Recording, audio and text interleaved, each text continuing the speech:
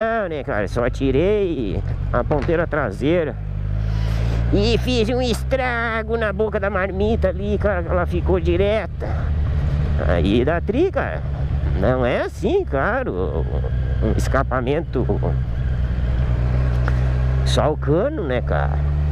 Mas ficou um ronquinho muito massa aí quando acelera o bicho, cara. Bah, ficou tri, ficou tri, cara. Tava até pensando em botar um escapamento aí, mas vou deixar assim, cara, porque o bagulho ficou muito louco. Se tu andar de boa, tu não faz barulho. Se tu esticar o bagulho, o bagulho berra. O bagulho berra bonito.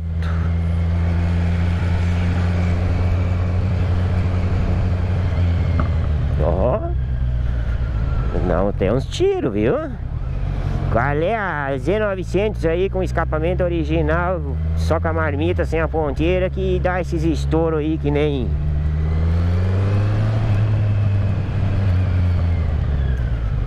Que nem moto com cano esportivo. Ah, a minha, né, cara? Mas eu falo pro gurizada fazer, gurizada não...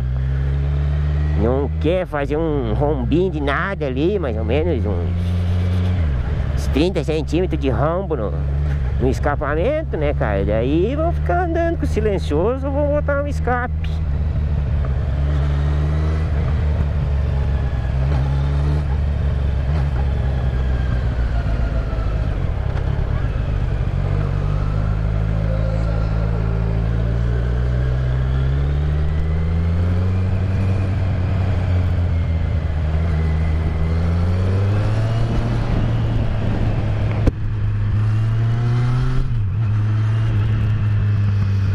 É, a chuvinha lá nos morros já tá vindo, cara.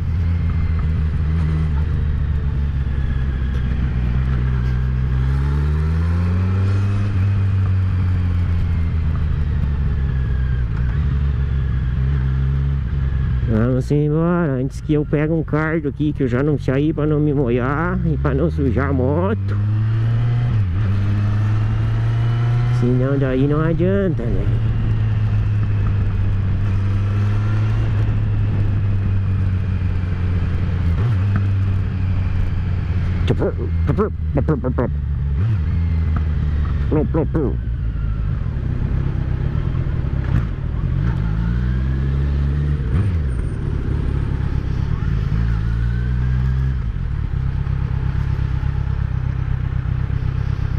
Bom, bicho cortou o caminho por outro lado.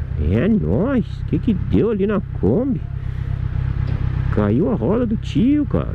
Boa, coisa louca. Fui.